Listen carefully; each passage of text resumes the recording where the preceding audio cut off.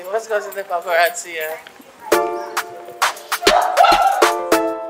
Let's go. No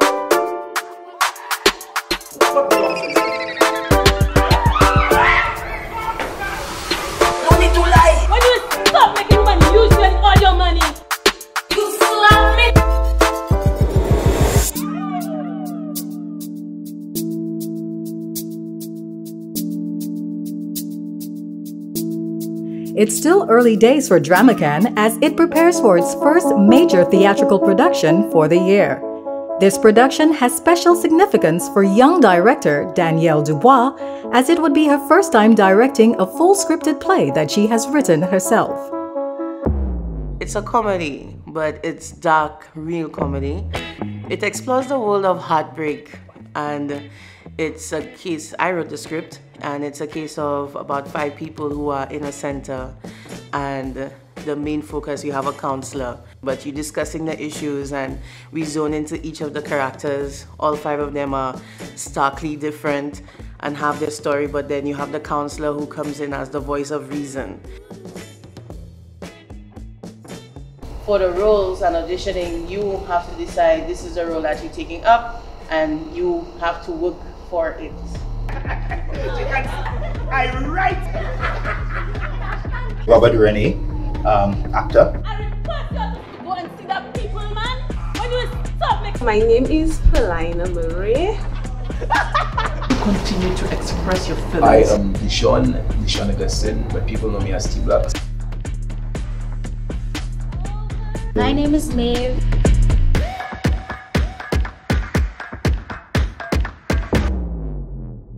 Was actually looking at the, the doctor role because I think I have quite a, a nice British accent, if you know what I mean. The counselor is very proper and he has an English accent and he's listening and he doesn't judge and he gives you the perspective that you need to basically move on. I've had a little bit of experience in acting before.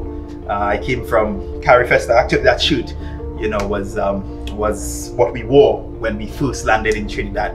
It's become my favorite shoot, and so I, I wear it so that I can I can somewhat channel that energy from all the Carifesta spirits. I was actually a little bit intimidated when they were doing their read through because these are people that been in plays before and they you know they go and Carifesta and they're doing their thing and I never I, I've never been in a play so I feel a little bit intimidated. Let's clap for him, guys. I was actually looking at the, the doctor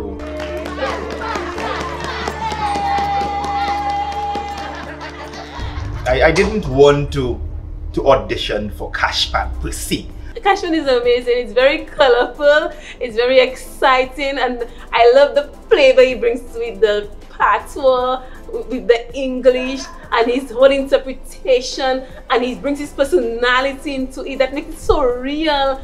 And I mean, I, I just love that he the way he talks, the way he expresses his emotions, and you know the, the funny part that he didn't understand what women are all about. I mean, come on, they're gonna take your money, Cashman.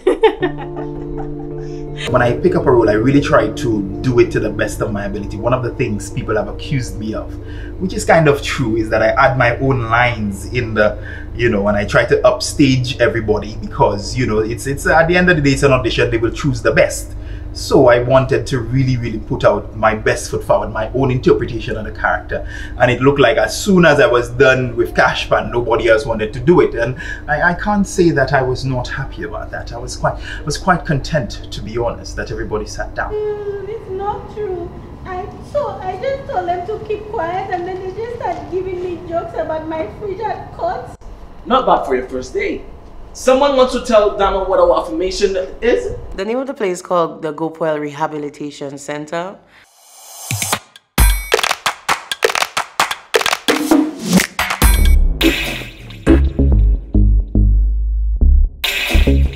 DramaCan is not the only theater group preparing for a production in the months to come. Gemstone Productions, led by seasoned director Hayden Ford, is also in the throes of rehearsals for his original play, Gimme a Chance. That's all you care for, you know. Your image. Your false image. Image without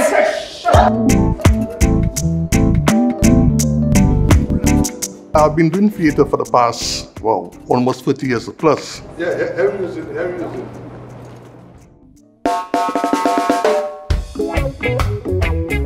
Well, the script right now is really timely because of the way they treat arts in St. Lucia. Arts is not something people really take serious. Ready? So I was showing the, the difficulties that artists go through, but there's a love story in the play where this, this man is a accountant, you have a daughter, but there's symbolism because he represents the system. Okay? Gloria. Gloria. Gloria. Not now. What do you mean not now? You know, sooner or later we have to deal with it. And his daughter now is involved, like this artist, his actor. And for, as far as he's concerned, his daughter should never go and get involved with this fellow. But she's a teacher, and she teaches theater arts. So she wants to move on to what she loves. But as far as he's concerned, not making money, that's a waste of time, don't get involved in that. So I shown the conflict, both in terms of the love story, the class, the love story, and where the system now makes it difficult for people like me that in the arts and actors and those people so the problems that, that they encounter. Ruby cannot speak to me any way she feels like. I will not stand for this foolishness.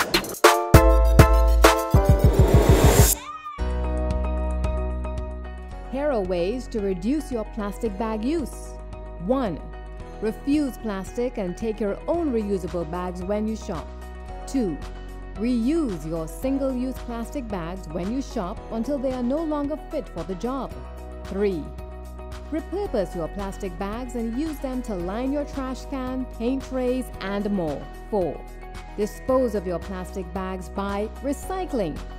Shop wisely and reduce, reuse, repurpose, and recycle. Hi, my name is Sidil, and you may know some of my hits like this one. Don't play with man. Man pull up like 10 bad man in Our music inspires and entertains. It powers festivals and is an integral part of our history and culture. Creating good music takes hours of thought, writing, arranging, recording, and production. When people or businesses who use our music publicly or for commercial gain get a music license, they're not just keeping the law, they're also supporting music creators, producers, musicians, singers, sound engineers, and many others in the music industry. Keep the great music coming. Get a music license for your business place or event. Support music rights. For more information, visit echorights.com. This message is brought to you by Echo and this Echo license station. Echo, Echo, Echo. protecting music rights.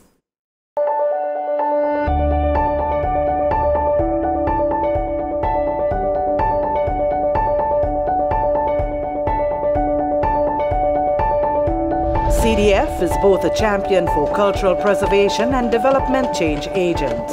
Established in April 2002 by the CDF Act of 2000 as the agency responsible to align the aspirations of cultural and creative individuals, groups, communities, policymakers, and civil society through the implementation of the National Cultural Policy of St. Lucia, we envision a strong, united, and proud St. Lucian community empowered by culture and creativity.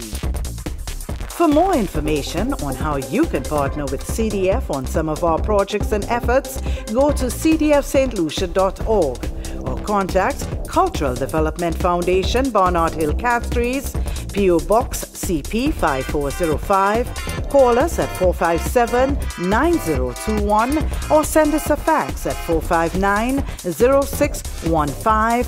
Email us at info at cdfstlucia.org. It's my life and I want more. More time, more power. Pay my Lucelect bill isn't hard. I pay with credit or debit card. Pay direct to Lucelect my account. I have the power, yeah pay online to Lucelect my account anywhere, any day, any hour. Lights are on at home, no more standing in line, no more worrying about my bill. Now I'm all paid up, got more time to chill, yeah. yeah. Pay my Lucelect bill isn't hard. I pay with credit or debit card.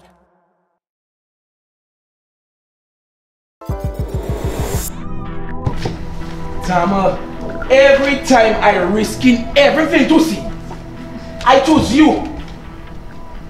Me not giving up on us is choosing you, dams.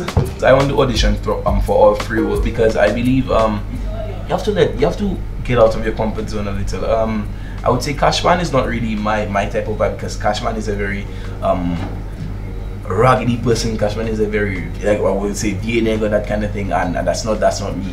But um, I believe that if it is that you want to be successful in life and you have to take chances and you have to do things differently, and I believe that um, if I do um, audition and I get through, it would be a very big thing for me. Um, as that's for the Cashman role. Um, but the other two roles I want to take, uh, I want to audition for it's um, Jake and the Doctor part. You guys started talking about about that time. Yeah, tell us, tell us more. Tell us more. That's how bad I The English beating me. I want to play in this, Joseph. Cashman! When you stop making women use you and all your money? Well, I'll be auditioning to play the nurse because that's the only person that Danielle has asked me to read for. I mean, I have acted before in the States and on Broadway, so I have it in me to do it. Well, I play different roles and I love to learn lines so, and my personality changes. So, I guess that's what they say about Geminis. They're two-faced and they have different personalities. Well, at the right time for the right purpose. The nurse has a pretty short part now, so I like the nurse because the nurse is really not there that much. Well, with the character Nurse Joseph, it has a kind of commanding role to it, and not only a commanding role, also it um, uh, is uh, as a nurse you have the ability to actually talk to your patients and make them understand themselves and calm them. And you also get to even act a bit two-faced at times. So I kind of like that about it, I guess. hey! Hey! You're making too much noise there. I report you to Sister Charles again. We'll make you stand in the sun again. The play is a very serious social commentary. Uh, I know some people might feel offended when I when the play might touch some nerves. I know that too. But you have to see what I have to say. You expect me to sit and talk to him? I'd rather go. This house has rules, you know what to do. That's your favorite line. I got involved in this production because Mr. Hayden Ford and I have worked together. I did the vagina monologues with him um, I played three characters in that play. He asked me to join this um, endeavor and I obliged. No way I want to talk about that. What you don't want to talk about? What you avoiding? Nothing! Damn! Can we just change the topic, please? It's a very different character for me because she's somewhat timid at times and anybody who knows me knows that I'm a very outspoken person. Um, however, she can be bold and I, I believe that I can relate to that aspect of the character. It's always about me. Why do you always treat me like a child? Oh, baby, baby girl, ain't nobody treating you like a child. Come sit in my Act like a child. Who will be treated then? We share a passion for the arts, myself and the character and um, just the pursuit of excellence because I too am pursuing my education, just like the character.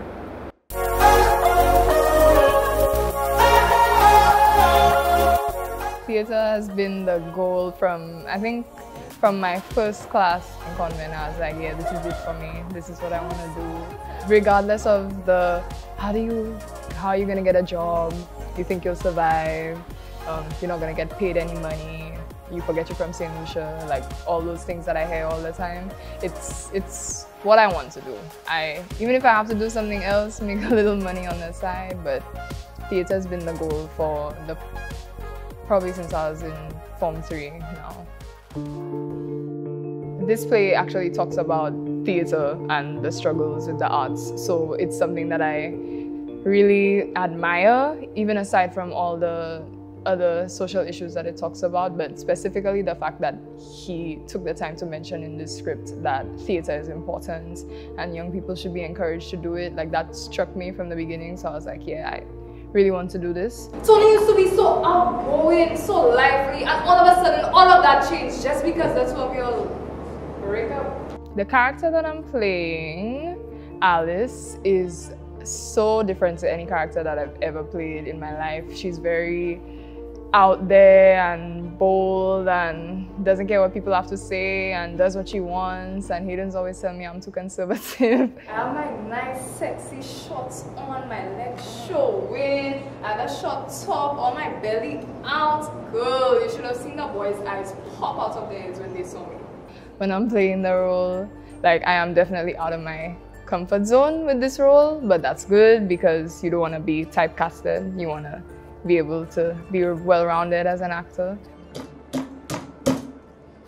These young people nowadays, they, they don't listen. It's like they, they just can't listen to what people say and everything.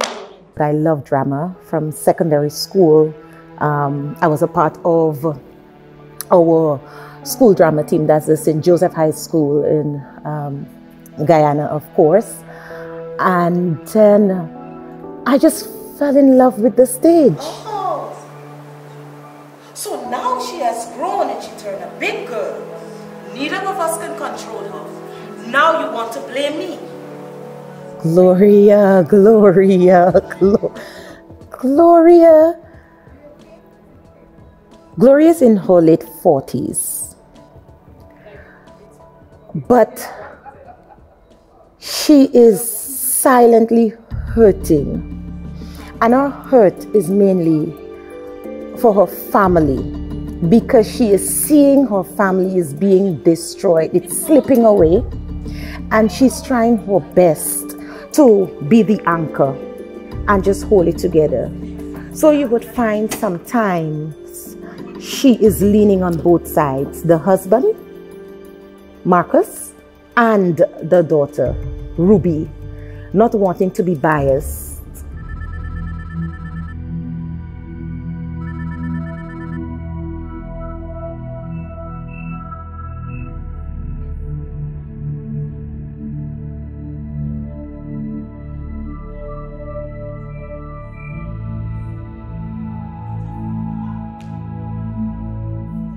Was a main actor and he had domestic issues.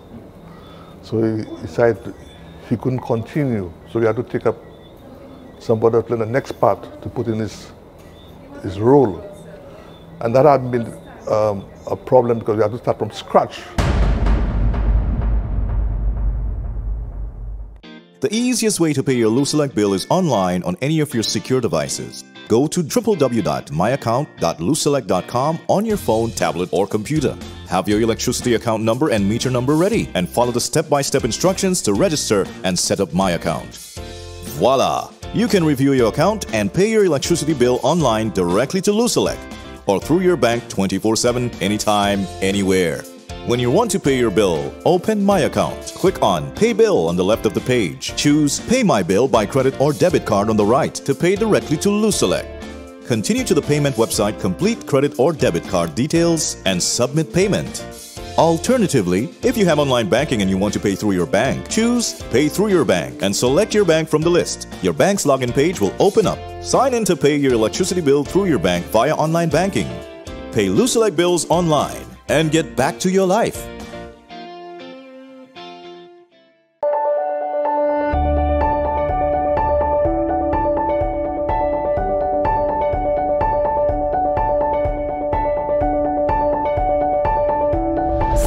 Is both a champion for cultural preservation and development change agent. Established in April 2002 by the CDF Act of 2000 as the agency responsible to align the aspirations of cultural and creative individuals, groups, communities, policymakers, and civil society through the implementation of the National Cultural Policy of St. Lucia, we envision a strong, united, and proud St. Lucian community empowered by culture and creativity. For more information on how you can partner with CDF on some of our projects and efforts, go to cdfstlucia.org or contact Cultural Development Foundation, Barnard Hill Castries, PO Box CP 5405, Call us at 457 9021 or send us a fax at 459 0615. Email us at info at cdfstlucia.org. Here are ways to reduce your plastic bag use. 1. Refuse plastic and take your own reusable bags when you shop. 2. Reuse your single use plastic bags when you shop until they are no longer fit for the job. 3. Repurpose your plastic bags and use them to line your trash can, paint trays, and more. 4. Dispose of your plastic bags by recycling. Shop wisely and reduce, reuse, repurpose, and recycle.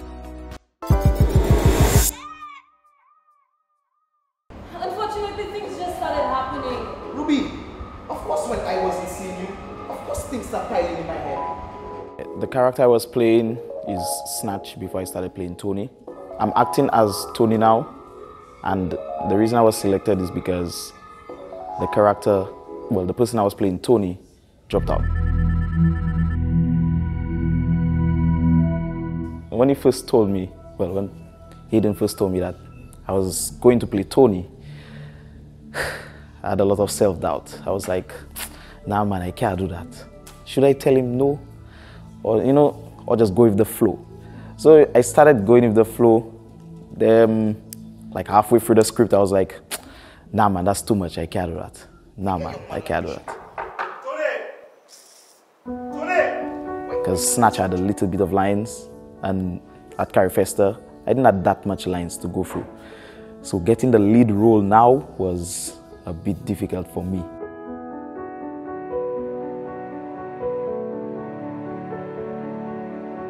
He have been picking up himself. They have been coming to rehearsals. So in the next couple of weeks, we should be, be ready. Hayden came to us and he was like, guys, listen, do not go over the lines. Like, do get the lines first, get the character first before you get the lines. Mm. So I went home, that sat on my mind for a little while, and I was like, okay, let me go over the lines, get the character, and then learn the lines. And then, yeah, from then on, like after a day or two, the lines came to me like that. I was like, wow, that was wow. Yeah. so, you want to trouble you? Up, guys. Yes, that making much more sense now. I said they have like they have things to replace. There's one or two people that might be cons- I have concern over because of the way they're working. Because of the way they're working. Well, what favor I tell you I want, sir? What favor? Look, you have to look at me like that, sir. I said nothing to worry about. Man, stop with the suspense.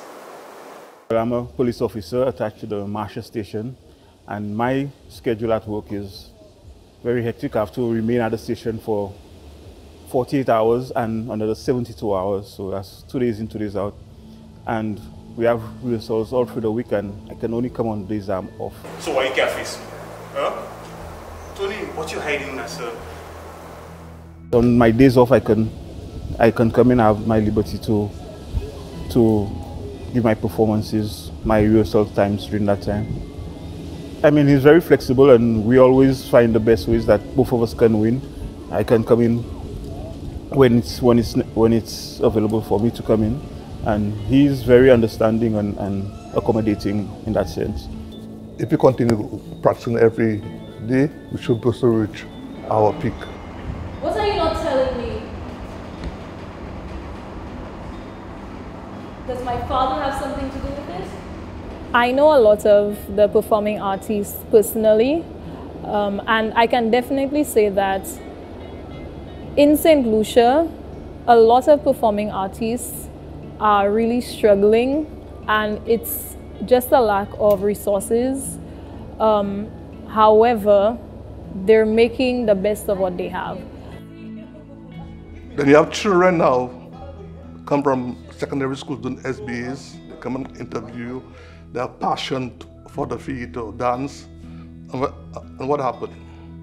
So all the idea about creative industries, I don't see it happening in our There must be the government or the authorities, let's put it so, must have facilitate those things for them, them things to happen. She never been doing the best, but that's as, as far as they could go.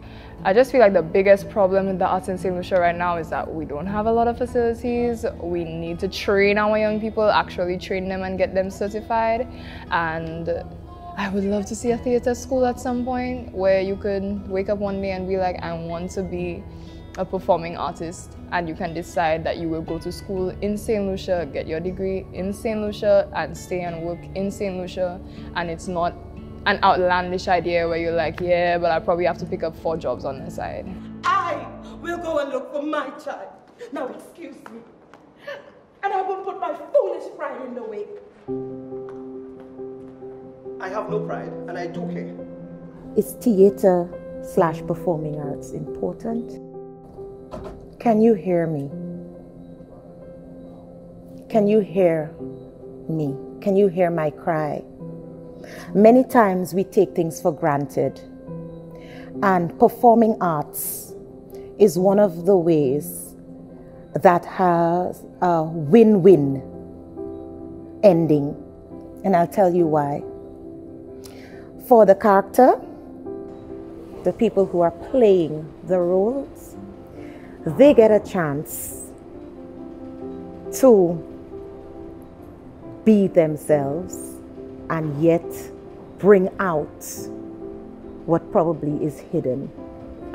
And to the audience, for those who lives in, live in secrets and keep things bundled up, when they see their life being revealed, whether it's through drama, whether it's listening to a song, whether it's looking at a dance, when they see what they're going through through the eyes of performing arts,